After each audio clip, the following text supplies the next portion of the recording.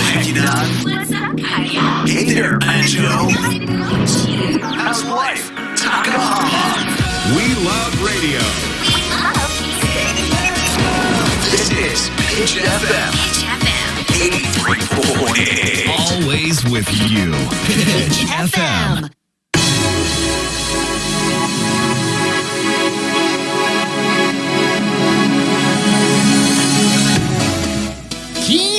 オアシス。ドッカンプロプレゼンツカリアハイウェイウェイズ。ありがとうございます。ありがとうございます。あ今日はあれですね。非常に賑やかで、にぎやかで。たくさんの人々が。ありがとうございます。なん声どうしたんだよ。ちょっと裏返っとるね会がね。あ？声がね裏返ってますけども。やり直すか？やらなくていい。やらなくて大丈夫ですよ。さあこんな感じで始まっております。金曜日のオアシス略して金オア。はい。毎月第3金曜日の金オアを担当します。ウェイウェイズです。よろしくお願いします。いやー千葉さん。はい。始まりましたね。はい。ね、秋の香りもねしなくなって朝晩の冷え込みに冬の訪れを感じることが多くなった今日この頃ですけども。何それ書いてあんのそんなん最近はどうですか？な書いてあんのかと思ったらそんなこと書いてないよそんなもん。何やお前急に。最近めっちゃ冷え込みますよね。同じこともう一回言ってくれ。秋の香りもしなくなってね。ちょちょ待って朝晩のね。今何が面白かったんだ自分で。もう一回言っちゃったと思ってね。もう一回言ってって俺が言っとるからね。最近寒くないですか？寒いですよ。いやほんと寒いなって思ったら意外と暑い日もあったりで。だから本当朝晩ですよ。その、日中はいいんですけどね。そうそうそう朝晩がやっぱりこの冷え込むんでそこでちょっと体調崩したりしないようにねということですけど。いやマジで気をつけなきゃダメですよ。はい。冬寝る時ってパジャマ着てます？いやなんかスウェットはい。まああパジャマまあ寝巻きですよね。はい。今僕長袖にするか半袖にするか。いやいやもう長袖やろ。アホかお前。アホかお前。アホかお前。3回も言われた。アホやな。じゃじゃ違うんですよ違うんですよ。聞いちて聞いてょちょちょいやなんでまだ半袖かみたいにちょっと選択肢入っとんの？今いろんな選択肢がある時期で僕の中でその普通にあの長袖のスウェットうん。上下を着て寝るっていうパターンとうん。ちょっと分厚めの布団をかけてうん。あのまあちょっと七分袖ぐらいの T シャツとか短パンを履いて寝るっていうスタイルといろんなパターンがあるんですよ。でこの前スウェットを着たんです。寒いからさすがにね。体体調崩してもあれだしと思って。どっちにどっちに？んスウェット上？下？上も下も。うん。両方着てでその寝たんですけどやっぱ暑いってなってうわーってなって何やそれ下手くそな話お前が寝るの。体温調整マジで難しいですよ最近。おマジ下手だよなお前なでもな本当にな、うんうん俺は普段から思っとるよ。そう？お前の服装を見て。そうなんで今日それなの？なんで昨日あれだったのってめっちゃ思っとるからね。いやでもね今日僕久しぶりにバイク乗ったんですけど、はい。ちょっと、まあ、僕的にはちょっと分厚いかなこのジャンバーって、まあ、ジャンバー言ってるんですよって思いながら着てきたんですけどちょうどよかった。があの強盗みたいなジャンバーだろ強盗みたいな印象悪いよ。じゃあお前印象悪い。印象が悪いじゃあそれをお前は着とんだぞ待って、まあ、毎日のように。見える？見えとるわバカ。マジで？マジで？じゃああのねこう結構この中にもしかしたら普段ライブ来てくれたりとかで、うんうんうん。まあその入り待ち出待ちみたいな感じで見てる人いると思うんですけど、うんうん。お前なんかライブはまあ衣装が黒のズボンやない。そうですね。でまあズボンはそのままで上を着替えたりってするんですよ、芸人さんよくね、うんうんうん。で黒のズボンにうん。黒の MA1 着とるやん。来とる。強盗やん。強盗か。いやマジで。でも千葉さんがそういうイメージで見てるからじゃないの？でうん似合ってないからね。それはあれマジで。それはもう何の反論もできない。じゃあこれは今僕は急になんか相方のことをすごいダメ出ししだしたみたいになってると思うんですけどこれは前にちゃんちゃんと一回しんうんちゃちゃんと話したことがあってうんうん。変な服だった場合はうん。僕が言う言わなきゃいけないことになってるんですよ。うん。僕もそれありがたいし分かんないから。なぜかというとそうこの人は分からないので、うん。この服は変かなどうかなみたいのをうん。分からないと。で、うん。おしゃれな必要はないが、うん。変に思われたくはないというね、うんうん。彼のアイデンティティがあるんで そうね。まあ大丈夫だったら大丈夫で何も言わないけど、ん。変な時は言うっていう風になってたじゃない。うん。でその話をした後にうん改めてうん。季節が変わったから買った服が変だよ。なんだったらちょっとこの12ヶ月着てたじゃないですかあの服。じゃあずっと俺最初から言っとったけどな。なんやお前その。なんかその初めて会った時にちょっとなんかあなんか新しいのなんかな何それ。みたいな感じで言ったの覚えてるんですよ。言ったってことは変ってことだからね。ああそういうこと？もっと気を使わずにもうちょっとあれは背が低い人が似合うやつだから。あああの僕の着てるジャン背がバーは？低くてちょっとこうごつめの体格の人、なるほどね。ううーん難しいぜ。ん、でせめてじゃああれ着るんだったら、うん。まあ、バイク乗ってる時はしょうがないですこう前閉めとけばいいですよ、うんうんうん。歩いてる時もずっと閉めとるやろ。うん。だからモコっとしてるなるほど作り的に。いやはいはい。開けとけや。もうねみんなそう世の中のおしゃれな人って寒いのに前開けるじゃないですか。あれすごいよね本当にマジで思う。で寒いか？いやでもだからここついてから？ここついてからはまあまあだいぶ超適温だろう本当に？お前はここついてからだから俺今日ここでうん。現場入って「あざんす」って会った時に、うん。お前が外から来たんようんうん。戻ってきた時ね。その実はもう現場には入っててちょっとうろうろしてから、もう一回戻ってきたっていうだけじゃん。はいはいはい。閉めてたもんね。なんこれと思って。いいじゃないだって今ね見てくれてる目の前の方は分かると思うんですけど僕今下に白い T シャツ着てて、うん。でその上に赤い、まあ、シャツを着てるんですよ。来てますよね。これ本当は開けてようと思ったんですけど、ん。ちょっと肌寒いかなと思って全部閉めましたからね。でまああれですよあなた、うん。ちなみにですよ、うん。僕は今日この後珍しくバイトがないんですよ。いつもデバイいトが。つもああるから飛び出しでね。終わりですぐうもう行かなきゃってなるんですけど、ないんですよ。うん僕は今日この後ズボン買いに行こうと思ってますからね。あ帰りにある。あそこか。そのいろんなところありますから。あまあまあ道中巡ってね。そうありますからね。なるほどなるほど。こういうところですよあなたとの違いは。ちょっと。なんでかって僕ズボン今ないじゃないですからね。今履いてますけど、これはもうしょうがなしで履いてますもん、シャアなしにね、うんシャアなしで。ベストのものがないから。お前なんかシャアなしのもんばっかしかないのに買おうとせんよな。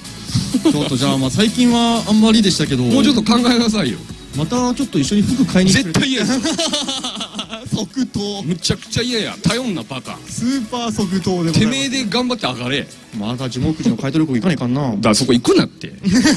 お前も今地名言っちゃったからあんま言いにくくなったけどあそこダメだって。地元のね地元のねあの発見してるとかあじゃるんですけどあ本当あそこダメなんだって本当に。ちょっとまあいろいろもっと増やしていかないからね。だからそういうお店もね。こんな感じで。じゃあ 分かりました。ラストコメ入ってくださいとね。ましたまだ服の話するようじゃあ僕もあれですけどもはいこの番組は週替わりのパーソナリティが刈谷ハイウェイオアシスにあります。ピッチ FM のオアシススタジオにて公開収録でお届けする番組です。公開収録でお届けする番組です。それではまず1曲目聴いていただきましょう。ピンクで「So What」Broadcasting dreams every day. This is Pitch FM. Have you heard of a community-based radio station that you anywhere, anytime? Pitch FM 83.8. Pitch This is Pitch FM. 83.8. ミコンととあるドライブレコーダーの記録はいはいというわけでまあ今回もこれやりましょう。はいやりましょう。とあるドライブを楽しむ車内そのドライブレコーダーにはこんな会話が記録されていた。はいとすごい。いうことでですね。すごい今日外人多いですよ。人多いですね。ありがたいことにね やってますけどもこのコーナーはですね、まあ、毎回我々ウェイウェイズがお客様からもらったお題に沿って、まあ、コントを作ってくるんでそれを披露するというコーナーでございます。今ラジオコントね。ラジオコントでございますね。難しいよね。ラジオ聞いてる人はラジオコントで聞けるけど、うん。見てる人はこの収録してるところを見るから。そうそう。コントだっつっとんのに原稿読んでるんですよ。バラさなくてバラさなくていいよ。我々。どんだけ僕らが死んだ顔で読んでるかとかね。ええ死んではじゃあお前はそうか知らんけどな。俺は生き生きと。死んだ顔しとらんから。なやりましょうやりましょうキキと。今回のお題は、うん。パンケーキ。はい。パンケーキということでねまた僕ら普段は絶対作らないタイプのお題なんですけども。まあパンケーキでネタを作ることはあんまないですね。ないですけども、はねやらせていただき作っていただきました、いはい。というわけで行ってみましょうミニコントとあるドライブレコーダーの記録パンケーキです。お父さん今日はどこに行くの、お母さんに買い物頼まれたからスーパーだよ。なんてスーパーかよ。お前スーパー好きだな。お前って誰に言ってんだよ。何しにそんなにスーパーばっかり行くのさ。夕飯の買い出しだろ？よしパンケーキだ。夕飯に？おかしいですか？いやおかしいよあんなおやつだよおやつ。誰が決めたんですか？でも誰かが知らんけど夜にパンケーキはおかしいって。なんでですか？うっせえなもう。栄養が偏るんじゃないかな多分ちなみに夕飯は何を食べる予定なの？まあまあ秋だからね、まあ、サンマのいいのがあったら買ってきてって言ってたね。やだーパンケーキが食べたいよ そんな原宿芸人みたいなこと言うなよ。パンケーキ焼きたいパンケーキ焼きたい。工程を望むな。パンケーキ焼きたい。お父さんは臭い。急にシンプルな悪口。大体育ち盛りの息子にサンマ食べさせてどうしようって言うんだよ。めちゃくちゃ普通だよこれサンマ食べたらなんかああ秋になったなって思うだろ？夜は冷えるから一枚羽織るもんがあった方がいいかなと思ったら秋が来たなと思うよ。大人か、お前。お父さんはいつもね、僕を子供扱いするけど、僕だって少しずつ大人になってるんだよ。だったらサンマ食えよ。大人だったら秋のサンマの魅力もわかるだろ？ただね、まだ毛が生えてこないんだようね。ん、関係ないよ。毛が生えたらサンマの良さがわかるとかないからね。とにかく今日はパンケーキが食べたいんだよ。じゃもう大体な、急に流行りだしたけど、パンケーキって何？ホットケーキと何が違うのか全然わからんし。うんなるほどですね。じゃあ説明しましょう。基本的にはね、同じです。言うなれば国や地域で呼び方が変わったりしますね。えーパンケーキは名前の通り、鍋、かっこフライパンですね。で、作るからパンケーキ。ホットケーキは知りませんが、よく言われる和製英語というのは間違いです。えー違うものと勘違いされる原因としましては、おそらく日本人は外国語をやたらごちゃ混ぜにしたり意味を変えたりして、何年か経つと強引に別の言葉に置き換えようとする変な性質があるので、おそらくそれが原因ではないかと思われますが、えーお父さん見解はどうでしょうか？いや、急にコメンテーターみたいになるな。あと、ホットケーキはおやつ、パンケーキは食事とも言われてるんですよ。は？食事？だから、夜ご飯がパンケーキでもいいんだよ。うーん、そうなの？いやーでもダメだよね。お母さんにサンマ頼まれてるから。わかった。お父さん、じゃあこうしよう。ん？サンマを乗せたパンケーキ。これで手打ち。いやもう気持ち悪い。いただきましたのは、キャリーパミュパミュで原宿イヤホイでした。はい、よく言えました。言えた、緊張した。緊張した？パミュパミュ言えなかったらどうしようって思った。パンケーキのコントやった後、この曲恥ずかしい。恥ずいね。とても恥ずかしいもんでございます。毎回ちょっとコントテーマに沿った曲を用意してくれてるんですけど、まさにだったね。ど真ん中のね。さあ、はい、行きましょう。続いては、店員さんいらっしゃいよいしょというわけで、ここから私、千葉由が仕切らせていただきますが、願いしますこのコーナーでは、カリアハイウェイオアシスで働く様々な店員さんをお呼びしまして、お店の一押し情報をお聞きします。というわけで、本日、店員さんはこの方です。どうぞ。はい、私、カリアハイウェイオス岩貝系公園の稲垣と申します。お願いします。稲垣さん、そして、私、山下と申します。よろしくお願いします。ちょっと待ってくださいね。あのー、え、そうなんだ。俺お二人ね、今日来ていただいて、ブース入るじゃないですか。はいはいで、まあ多分、まあ稲垣さん面白いところいっぱいあるのかなって、ちょいろいろ頭でそう想像してねそうですね。考えてたんですけど、ん山下さん要注意ですね。要注意ですね。お願いします。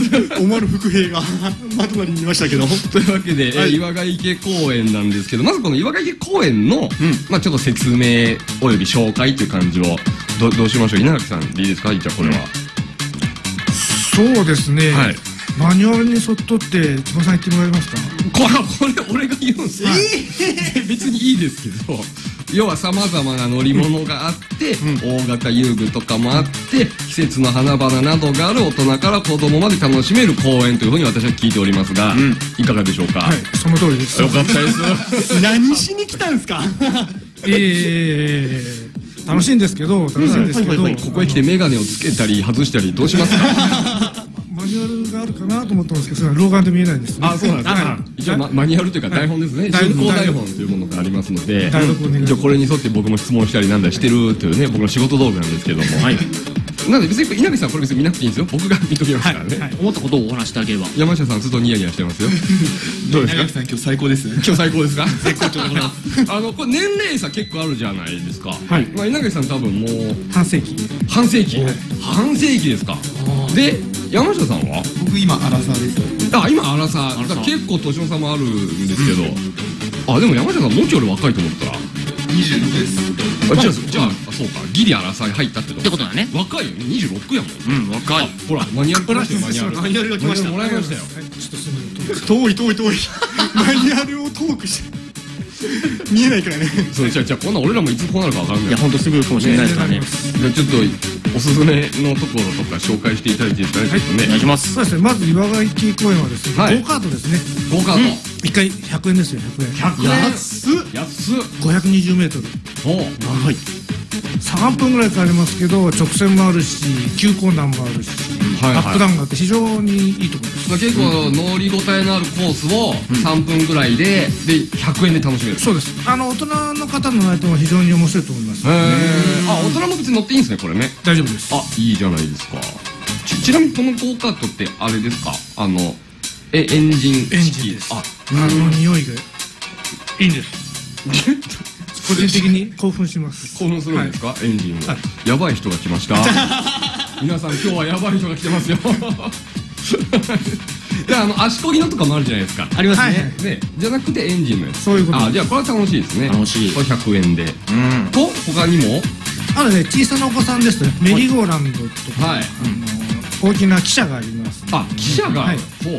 あとわんぱくパイロットっていうのは飛行機ですね。上に上がってどうでしょう。5メートルぐらい上をぐるぐる旋回するんですけどあーなるほどなるほど。非常に楽しいです。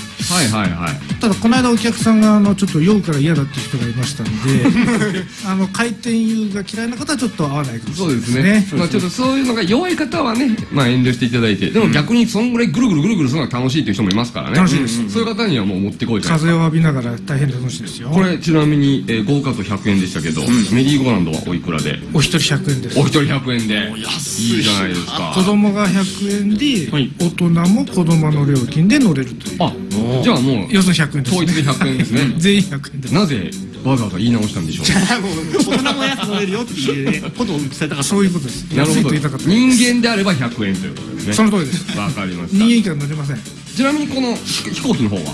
これも100円になります。全部100円じゃない大体全部100円っていうことですか？そうですね。乗り物は全て100円でただ50円の小さなもと幼稚さんが乗るのもあります。50円のもあるんですね。50円もありこれはどどんな乗り物でしょうか？あのバッテリーを積んでおりましてねペダルを踏むとぐるーっと動いたりとかあのレールが敷いてあってその中の小さなミニレールミニ汽車が走るっていうはい。あのこれこれです。蓋を開ければ稲垣さん結構饒舌に喋ってくれてます、ええ。かなりありがたい。逆に山下和慶州ちょっと山下君和慶州送ってください。和慶州はどうなのよ？和慶州のおすすめは？いやもうすべて稲垣さんに言われてしまったので。あもう言うことなくなっちゃっていつもありがとうございます。上下関係出さないでくださいここで。ちなみに山下君はどどのぐらいなんですか？ここで働き出して僕は今ちょうど4年ぐらいですかね。あ4年あじゃあ大学出てみたいな。そうですそうです。あなるほどなるほど。時から稲垣さんの下で？最初は違うところにいて1年でこっち来てでそこからもうずっと稲垣さんにこき使われているような人。あそうか。じゃあお世話になってるってことですよね。どうですか稲垣さん山下君の仕事ぶりは？使えます。使えます。か バッチリです。あいいじゃないですか。それ将来楽しみじゃないですか。楽しみですよ。ああれだよね。ずっと 山山下君、ななんだろうな。何何？コントしかやらない芸人の喋り方する。わかるけど。これあんまり僕らしかわかんないかもしれないですけど漫才する人の喋り方じゃないんですよ。なんかだから楽しいです。ちなみになんですけど、あのー公園施設内にねさまざまな種類の花がっていうはいはい。お花がね、はいフラワーが咲き乱れるというふうにも書いてあるんですけどもこれはやっぱ季節ごとによってですよね。そうですね。あの植え替えますんで春は春冬は冬の花が咲くというなるほど設定とねいうかあの植栽をやっております。今だと、まあ、これ今月なんか11月のオンエア分なんですけど、まあ、秋じゃないですか、はいはい。秋の花といえばっていうのが植えられてる。本当はコスモスが植えてありまして。あなるほどなるほど。はいだったんですけどこの天気で緑のように伸びてるばっかりですね。花がないという。花がない、はい。まあ、でもいつか咲きますもんね。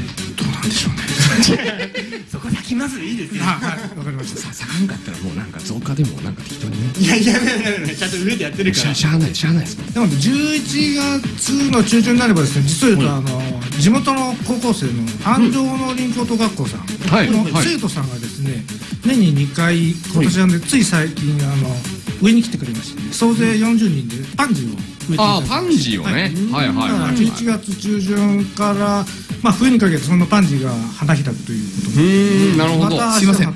稲垣さん正確にはビオラです。あはいわかりました。パンジーはあの花が大きいやつでした。ビオラは細かいちょっと可愛いやつですねでよろしいですか？はい大丈夫です。そういうことになってる。和慶州はできるね、できるね。ちゃんとサポートするね。でビオラが咲くということですね。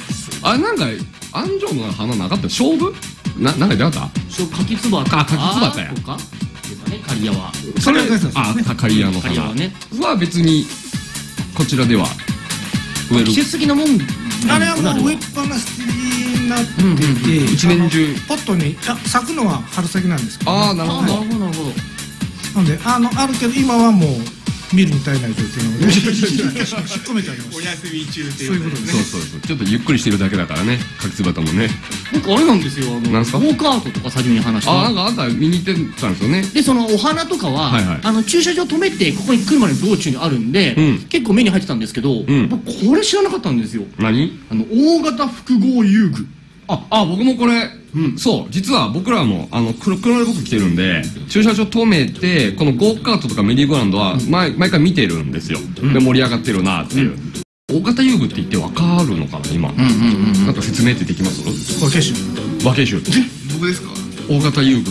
大型。複合遊具あれだよねジャングルジムみたいなのに 二人して腕組んじゃったよ 言葉で言うと難しいですねこれから。だから滑り台もついてるしそうですなんかあんななんだて鉄棒的なのもあるしちょっと僕それが知らなかったから、はい。であるってのも知らなかったんですけど、まあそのサイト見たら載ってるんで、うん。でえどこにあるんだろうと思って収録前見てきたんですよ、うん。そしたらこれもう普通の大型複合遊具っていうこの漢字6文字で想像するものよりもすごいですよ。あ本当。めっちゃでかいの。あもうなんかそう3メートル4メートルぐらいあるもう金網みたいなので組んで作ってあるんですよね。なんで反応がないの？この2人。いやその通りで、えーその通りだ。めちゃくちゃすごいのは。別名が空中洞穴空中洞穴そう。でこんなちょっとあの僕らの普段の動線とはない場所にあるんで、うん。あここにこんな大きいのがあったんだってめっちゃびっくりして。結構街の公園にある、ああいうあれも一応複合だと思うんだけど、うんうんうんっていうレベルじゃないんだ。やっぱ大型というだけあるっていうでかいですよ。でかい。一番高いとこはあれ20メートルか30メートルぐらい。あら。足元があのネットなんでね下私ちょっとすみません。高所恐怖症なんで上がったことないんですけど。あの足がすくむぐらいの高さありますんで。ね稲垣さんすみません。30はないと思います。はい出た。サポート。和慶州のサポートが炸裂したよ。きついな。きついな言ってますけど。じゃあこれ山下君は登ったりしたこともある？あありますあります。結構やっぱ高い。いや高いですね。えーでもその分スリルもあってね楽しいと基本は思いますよ。大人は登れる基本は NG です。すよね。あのおえ。え子様限定であっていう。そうなんや。まあその職員さんだからいろいろ。あまあなんか点検とかもあるからね、えーあじゃあ俺行きたいって言っても行けないんだ。あすぐ捕まえます。すぐ捕まえる。そうむちゃくちゃ逃げたいな。楽しいだろうな。捕まえてみろ。楽しいんだな。なるほどね。結構僕らの年代でも見たらおおってちょっとやってないやってみたいな。あちなみに僕こんなん大好きですからね、アスレチックみたいなのは。絶対テンション上がるよ見たら上がるよ。上がる上がでもお前はちょっとどっか行っといてって言うよ なんで？そのはずいし。見られたくないかはらしゃいどんどん。いやもう一人でやってくれ。よ一緒に行かないから。楽しめるタイプでもないしさ。確かに。これも高いとこダメなんですよ。ダメなんです。足がすくむんですよ。やばいやばいやばい本当に。僕はもう高いとこ大好きなので 本当に。100メートルぐらいのとこから下で余裕で見れますよ。いやもう絶対に無理。本当に。僕マンション4階から上無理だもん。あと5000メートルから飛んだことありますからね。やべえスカイダイビング。あスカイダイビングでね。一人単独？えっとなんか後ろになんかインストラクター付きのやつ。つきましたけど外人の人が。おむつがいるからねあいつらすげえ楽しそうになんか飛び上がるんだよ。こっちの心の準備関係ないからね。なるほどね。楽しそうにしてすいませんちょっと関係ない話になりましたけども。ではこの岩ヶ池公園で皆さんもぜひぜひ遊んでくださいねということで。まあお子さん多いですもんね。だからこのハイウェイオアシス自体そうですね。あの小さい子向けが多いですからね、はい。ぜひあの途中で寄っていただくのもそのための公園でもありますだからね。子供遊ばしといておお父さんお母さんちょっと休憩みたいな。その通りですね。ね感じがいいと思いますので。なんか最後にここだけは行っときたいみたいなポイントみたいなのありますか？ここだけは。大変安いですし、ちょっと寄ってちょっと戻るということができますので、ね、ぜひ高速道路を使われる方上に止めてちょっと一目見て一回遊んでまた旅路を続けるというなるほどぜですね。ひやっていただきたいです。わかりました。本当に50円。子供ちっちゃいのは50円。でまあ普通に乗るやつも全部100円なんでぜひぜひ楽しんでいただければなと思っております。さあそんなわけで本日いらっしゃった店員さんは岩ヶ池公園の稲垣さんと山下さんでした。ありがとうございました、ありがとうございました。ありがとうございましたお聞きいただいたのは赤い公園でハイウェイカブリオレでした。はい。それでは行きましょう。新コーナー。ヘイヘイウェイウェイズ。よいしょ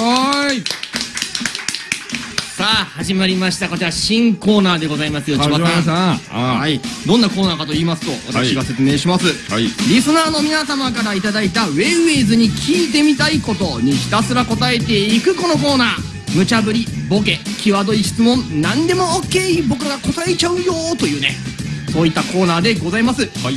今回こちら「ヘイヘイウェイウェイズ」という名前でやりますんで合言葉を一つ決めております、はい。合言葉は「ヘイヘイウェイウェイズ」わかりやすい。ですね。ああわかりやすいとかね。ぜひこの「ヘイヘイウェイウェイズ」を使いながらコーナーをね進めていきたいなと思うんですけども。まあこれはちょっと先に説明しなきゃいけないのが先月聞いてくれた方々からすると、あれ？なん。かコーナーめっちゃ違うくね？みたいにな違うねってなるね。うん。あの教えてウェイウェイズでやろうかと思ったんですけども、うん。ちょっとまあヘイヘイウェイウェイズというふうに名前変えまして、うん。一個こういう合言葉があった方がうん。スッと入りやすいかなっていうことでそうですね。変わりまして。変わりました。はいヘイヘイウェイですヘイヘイウェイミュージックチャンプです。ウェイが邪魔だねやっぱりなそうなるとなな。っちゃいますけどもなんで皆さんも今後またあのいろいろ送ってもらいたいんですけども、はい。送ってもらう時にはぜひね「ヘイヘイウェイウェイズ」ってつけて送ってもらえるといいなと思います、はいでまあそこら辺のフォーマットもまた考えていきたいですね。はい、まあ、いただいてるお便りがありますので、まあ、はい。それはちょっと頭だけヘイヘイウェイズつけて、僕が読ませていただきますけども。よろしくお願いします。はい、行きましょう。ラジオネーム、レンコンの穴が星型だったらさん、ありがとうございます。ありがとうございますね、大変ですよね、星型だったら。ね。まあロマンがあるけどね。ね、ヘイヘイウェイウェイズ。ヘイウェイズ。こんにちは。10月になったにもかかわらず半袖で過ごせてしまうような日もある 10, 10月にくれてるわこれ。本当だね。不思議な気候が続いていますね。さてラジオで言うのもなんですが長年金色だったいくらさんの髪の色が黒になりましたね。突然のことでとても驚いています。何かきっかけがあったのでしょうか？その代わりに千葉さんの髪の色が変わったりするのでしょうか？ちなみにその代わりに私が金髪にしてもいいでしょうか？お返事待ってます。ということで。なるほどですヘイヘイいくらさんですねこれは。ヘイヘイいくらさんですよ、はい。い、やー大人になったんですかね僕も。あの最近ひじきが好きでね最近なひじきにねすごいハマってんですよ。すごいね。あこの美味しさをやっと分かるようになったみたいな。俺がさよくさ世の中で、うん。まああってもなくてもいいしけど、うん。まあありゃうん。それはそれでっていううんものの例えで、うんいつもひじき現象とかひじき状態っていうのね、ええっていうぐらい俺の中でひじきどっちでもいいんだよ。あったら食うよいやいやいやいやもうもう損してますよ千葉さん。うるせえなこいつ人生の0.5%損してますよ。こいつうるせえわ。マジでマジで。でまあひじきが好きだからねひじき食べ過ぎてちょっと髪の毛黒くしたろうかなっていう流れになったみたいな感じですかねあ本当にそのひじきがそういうあれがあるんですか？ひじきはうまいですよ。あでそういう効果は別にないですけど。ないん全くないですけど。ないのに言った、こいつ。ちなみに僕の髪の色が変わったりするかどうかはですね、本当に気分ですね。まあ結構ねちょこちょこ変えたりしてますしね私は本当にもう突発的なので、うん。あ髪の色変えたいなと思っててよし次の給料日に髪染めちゃえみたいな、うんうん。したことなくて。うんうん。本当夜中にあやろうって言ってコンビニ行ってブリ買うみたいな。で自分自分でやっちゃうんで。なるほどね。急にやってますからあんまりこの辺は決まったことないですけども。だから分かんないですよ。千葉さんも急に数の子にはまって金髪にしようってなるかもしれないですからね。から食っとるもんにはまってその色にせんのやって。本当に。なんやお前のそのわけがわからん方式は。だし巻き卵とかね。ほんでこのレンコンの穴が星型だったらさ金髪にしてもいいかどうか聞いておるけど、ん。これはダメですね。ダメなんだ。いいわけない。勝手なことを言ってるんじゃないよいや好きにさ差し上げてよそれは。はい、えー続いていただいております、えーラジオネームわけわかんないくらい太郎さん。はいありがとうございます。すヘイヘイウェイウェイズえいへいウェイウェイズ。新たにできたコーナーで質問ができるという数の噂を聞いたのです。っ飛ん。できました聞きたくて仕方なかったことがあるんです。早速なんですが千葉さんは琴が趣味ですよね。おバレてたな。私も最近琴を始めたのですが初心者に送るアドバイスとかありますか、えーちゃんと手入れして磨いてください。あ大事ですね。えーあといくらさんの鼻毛っていつから桃色なんですか？あバレてましたか桃色、ええ僕の鼻毛桃色なんですけど。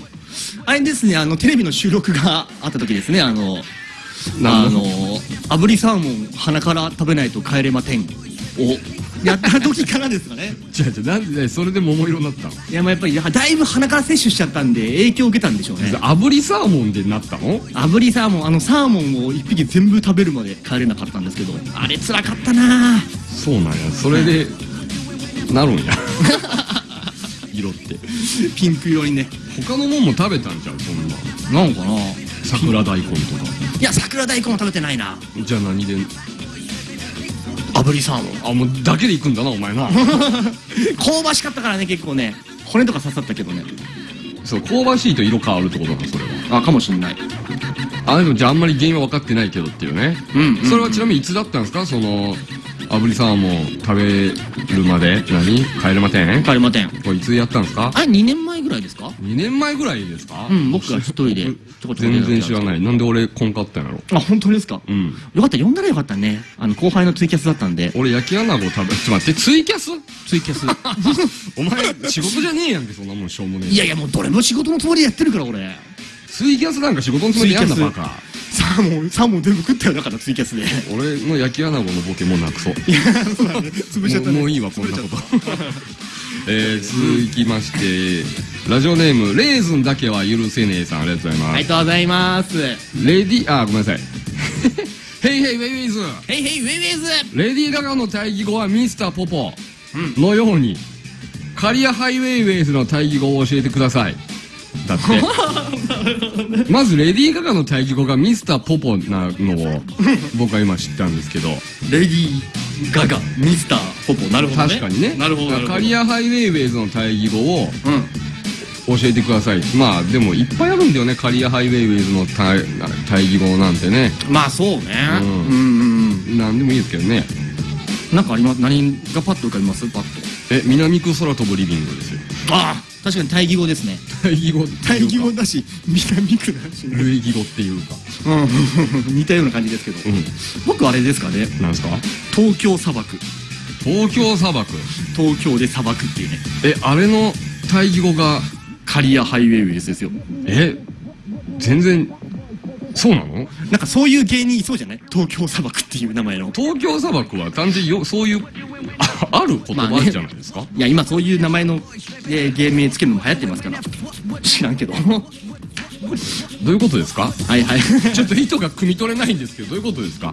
じゃあでも難しいどな。どのつもりで言ってるんですか？あなたのえ？東京砂漠。あなたの東京砂漠は何のつもりで言ってるんですか？だからカリアの反対。ではハイウェイウェイズああのあのよく言う東京砂漠のつもりで言ってるんですか？あのよく言う東京砂漠のつもりでそれにインスパイアを受けてコンビを組もうってなった人たちがやってる番組の名前ですよ。東京砂漠。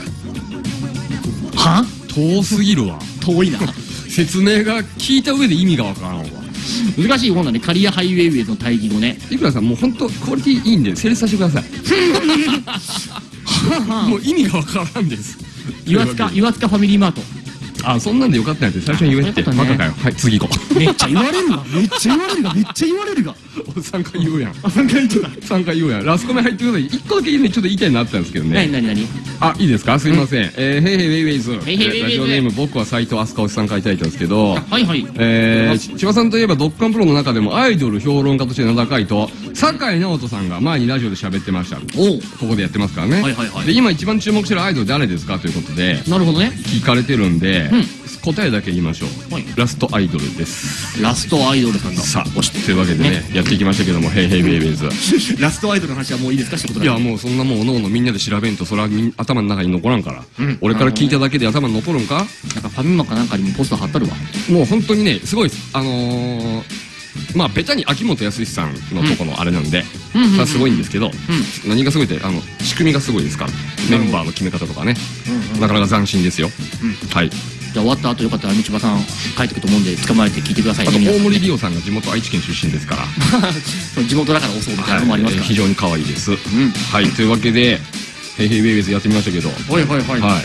というわけでまあこういう感じで皆さんからもらった質問をねバンバン我々が答えていきますんで、うん。まああの一回やったんでもう雰囲気分かったと思うんで皆さんぜひぜひねいろんな質問を僕らに送ってください、はい。無茶ぶりボケキーワード質問何でも OK です、はい。メールアドレスはピッチアット 838.fm pitch アットマーク 838.fm までたくさんのメッセージお待ちしておりますはい以上ヘイヘイウェイウェイズでした Hello, Hackinot. Hey there, Banjo. How's life? Takaha. We love radio. We love music. Always with you.